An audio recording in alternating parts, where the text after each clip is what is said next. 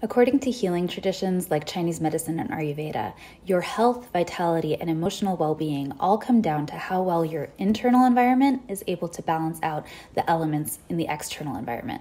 And a lot of this just comes down to making seasonal shifts to your diet and lifestyle. Now, there is a lot that can be said here, and I've taught entire university courses on this topic. But what I want to focus on in this reel are the flavors that you want to emphasize in the springtime. So, in spring, we're coming out of the cold, heavy season that is winter. And if we don't take steps to keep ourselves balanced, we run the risk of feeling very lethargic, heavy, restless, frustrated, have sluggish digestion, headaches, disturbed sleep, you name it.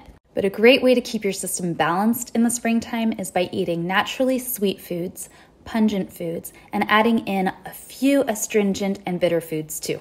Naturally sweet foods like root vegetables and whole grains keep your system harmonized as the season changes. Pungent, spicy foods clear out some of that heavy stagnation and tune you to the exuberancy of springtime.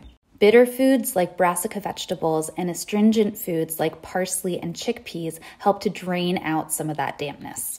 And if you'd like to learn more about cultivating a clear mind and vibrant body in springtime, check out my spring cleanse program called Revitalize. The link is in my bio, and I cannot wait to see where it takes you.